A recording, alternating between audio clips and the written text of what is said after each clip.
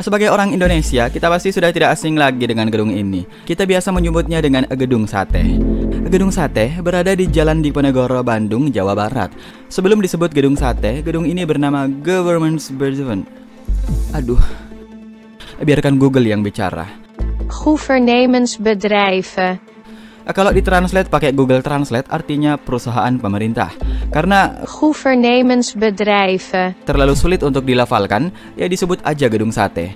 Eh, tapi kok dia disebut gedung sate ya? Kok namanya kayak buah? Lah, sate bukan termasuk buah, Bogeng.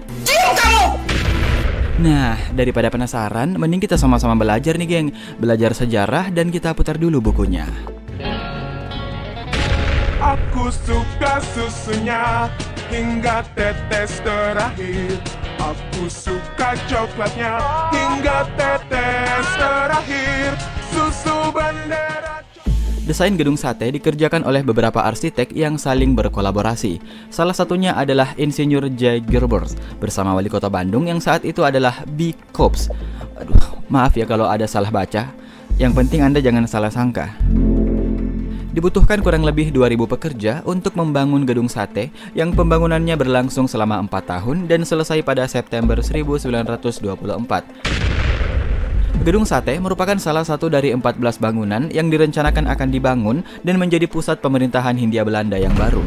Saat itu, Bandung direncanakan untuk menjadi ibu kota baru Hindia Belanda, menggantikan Batavia yang dianggap sudah tidak layak lagi untuk ditempati oleh mereka. Dulunya pemerintah Belanda membangun gedung ini karena beranggapan bahwa Bandung cocok untuk dijadikan pusat pemerintahan karena di sana udaranya dingin, iklimnya pun mirip seperti iklim kota Perancis. Emang lu udah pernah ke Prancis? Eh, belum atuh. Gedung sate kemudian dibangun dengan mencampurkan banyak gaya arsitektur dengan biaya sekitar 6 juta gulden. Waduh, berapa itu 6 juta gulden? Ya, ya sebentar aja kita hitung. Ada beberapa fakta menarik seputar gedung ini. Salah satunya adalah peletakan batu pertamanya dilakukan oleh anak kecil. Biasanya kan nih, untuk meletakkan batu pertama suatu bangunan dilakukan oleh orang-orang hebat. Biasanya Pak Bupatilah yang disuruh meletakkan batu pertama. Tapi kenapa nggak sekalian sampai batu terakhir? Biar nggak usah lagi kan pakai tukang bangunan. Kalau yang ini ternyata seorang anak kecil yang dipercayakan menaruh batu pertama di situ. Dialah Johanna Katerina Kops yang merupakan putri sulung dari B. Kops, yaitu wali kota Bandung saat itu. Peletakan batu pertama pembangunan gedung ini jatuh pada 27 Juli 1920.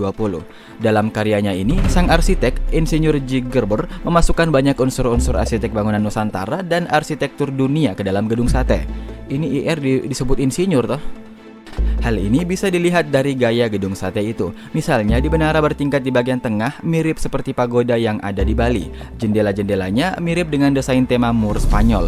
Ornamen batu di bagian bawah gedung ini juga mirip dengan dasar candi-candi yang ada di Jawa. Bahkan di bagian dalam bangunan ini, kamu juga menemukan tiang-tiang yang mirip dengan tiang-tiang kuil di Mesir dan India, serta masih banyak lagi keunikan lainnya. Oke, sekarang kita fokus ke pokok pembicaraan. Kenapa atuh jadi disebut dengan gedung sate? Di mana satenya teh?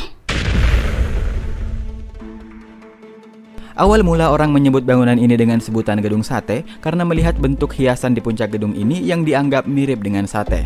Tapi sebenarnya itu bukan sekedar hiasan sih, itu merupakan penangkal petir. Tapi biar tidak terlalu polos, ia diberikanlah dia enam buah ornamen berbentuk seperti bulatan yang katanya bulatan itu melambangkan biaya pembangunan gedung ini yang menghabiskan dana sekitar 6 juta gulden. Ini mata uang Belanda ya, kira-kira kalau dirupiahkan sekitar 47 miliaran rupiah.